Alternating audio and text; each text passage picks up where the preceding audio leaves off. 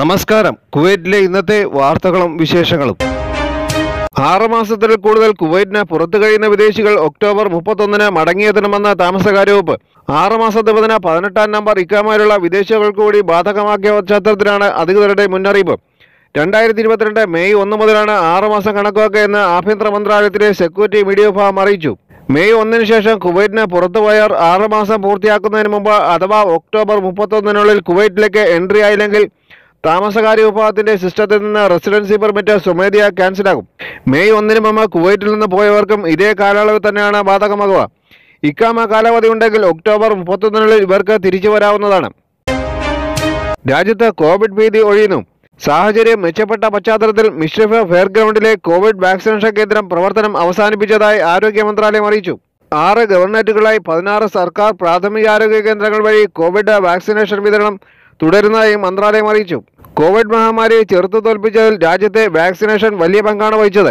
Mission ഫെയർഗ്രൗണ്ടിലെ അഞ്ചാം number hall കേന്ദ്രീകരിച്ചായിരുന്നു കോവിഡിനെതിരെയുള്ള പ്രതിരോധ കുത്തിവയ്പ് ആരോഗ്യ മന്ത്രാലയം വിജയകരമായി നടപ്പിലാക്കിയത്. കോവിഡ് മഹാമാരിയെ നേരിടുന്നതിൽ സുപ്രധാന പങ്കുവഹിച്ച മിഷ്രിഫ് വാക്സിനേഷൻ കേന്ദ്രത്തിൽ രണ്ടര വർഷത്തിനിടെ സേവനമനുഷ്ഠിച്ച എല്ലാ ആരോഗ്യ പ്രവർത്തകർക്കും ആരോഗ്യ മന്ത്രാലയം നന്ദി അറിയിച്ചു. ഞായർ മുതൽ വ്യാഴം വരെ ഉച്ചയ്ക്ക് മൂന്ന് മണി മുതൽ രാത്രി എട്ട് മണി വരെ ക്ലിനിക്കുകളിൽ വാക്സിനേഷൻ വിതരണം ഉണ്ടാവുക.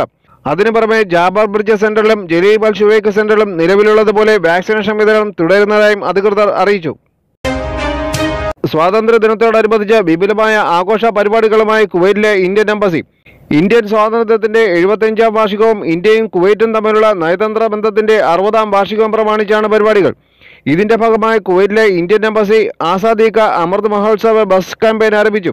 കുവൈറ്റിലെ ഇന്ത്യൻ അംബാസിഡർ സിബി ജോർജും മുഖ്യാതിഥി കുവൈറ്റ് ഇൻഫർമേഷൻ മന്ത്രാലയത്തിലെ foreign media relation assistant under secretary Mazin Al അൻസാരിയും ചേർന്നാണ് ബസ്സുകളുടെ ഫ്ളാഗ് ഓഫ് നിർവഹിച്ചത്.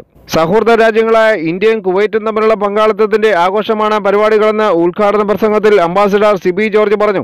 പിന്തുണച്ചവർക്കും കുവൈറ്റ് അധികൃതർക്കും അംബാസിഡർ നന്ദി അറിയിച്ചു.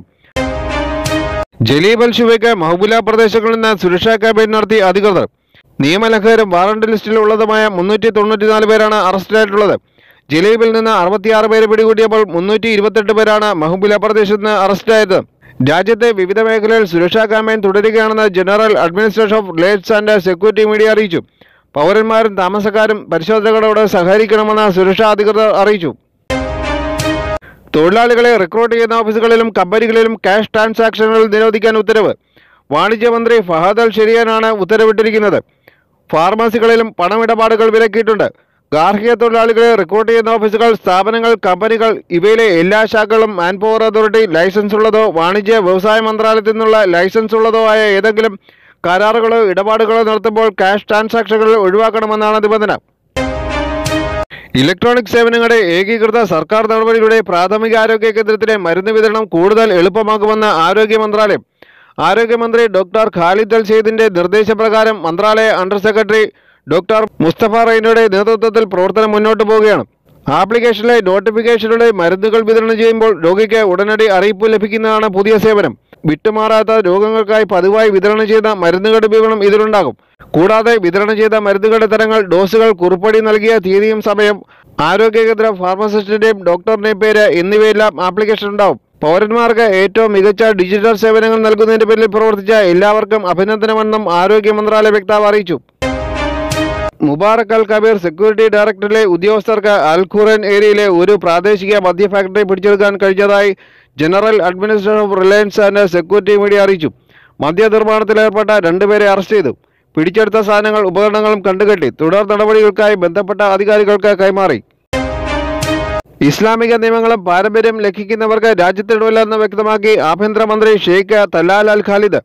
ഒരു പരിശോധനാ ക്യാമ്പയിനിൽ പങ്കെടുത്തുകൊണ്ടായിരുന്ന ആഭ്യന്തരമന്ത്രി ഇക്കാര്യം അറിയിച്ചത്. മഹബൂല പ്രദേശത്താണ് പരിശോധന നടന്നത്. ആഭ്യന്തര മന്ത്രാലയത്തിലെ under secretary lieutenant general Anwar Al ബർജാസിന്റെ മേൽനോട്ടത്തിലാണ് പരിശോധന നടന്നത്. നിയമം നടപ്പിലാക്കണമെന്നാണ് സുരക്ഷാ ഉദ്യോഗസ്ഥർക്കുള്ള നിർദ്ദേശം. മെഹബൂല പ്രദേശത്തുള്ള പ്രവേശന കവാടങ്ങളും പുറത്തു പോകുന്നതിനുള്ള മാർഗങ്ങളും അടച്ചാണ് പരിശോധന നടത്തിയത്. അനാശാസ്യം നടത്തുന്നതിനായി സോഷ്യൽ മീഡിയയിൽ തങ്ങളുടെ അശ്ലീല ഫോട്ടോകൾ പ്രദർശിപ്പിക്കുന്ന വിവിധ രാജ്യക്കാരായ ഒമ്പത് പേർ അടങ്ങുന്ന സംഘത്തെ പിടികൂടാൻ Kuwait general administration of residency അഫയേഴ്സിന് കഴിഞ്ഞു. ഇവർക്കെതിരെ ആവശ്യമായ നടപടികൾക്കായി ബന്ധപ്പെട്ട വകുപ്പുകൾക്ക് കൈമാറി. ഇന്നത്തെ സ്വർണ നിരക്ക് ഒരു ഗ്രാം ഇരുപത്തിനാല് കാരറ്റ് പതിനെട്ട് കെ ഡി നൂറ് പിൽസും ഒരു ഗ്രാം ഇരുപത്തിരണ്ട് കാരറ്റ് പതിനേഴ് കെ ഡി മുന്നൂറ്റി അമ്പത് പിൽസും. ഇന്നത്തെ വിനിമയ നിരക്ക് ഒരു കേടിക്ക് ഇരുന്നൂറ്റി അമ്പത്തെട്ട് രൂപ. ഇന്നത്തെ വാർത്തകൾ സമാപിച്ചു. നന്ദി നമസ്കാരം.